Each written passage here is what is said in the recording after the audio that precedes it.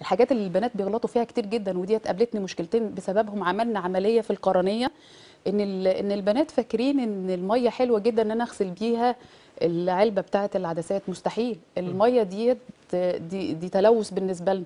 تمام؟ وفيها ميكروب خطير جدا اسمه أميبا. أنا لما أجي هست- هستعمل العلبة بتاعة العدسات لازم أغسلها بالمحلول بتاع العدسات. يا انشفها اسيبها تنشف لوحدها يعملها بقطن مفيش مناديل. مناديل دي مهما كانت برضو معمولة recycling كده مش معقمة كفاية.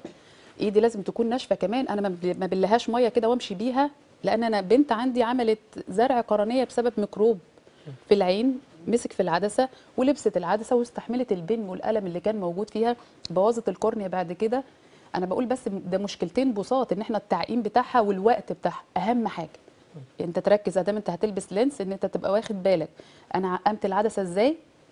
تمام؟ ايديا وخدتها إزاي من المحلول؟ تاني حاجة الوقت بتاعها. إحنا قبل الناس حتى ما تيجي لما يجي يعملوا ليزك أنا بطلب منهم ان هم يقلعوا اللينسز أسبوع قبل ما اعمل لهم الاشعة اللي قبل الليزك لانها بتأثر على الكورنيا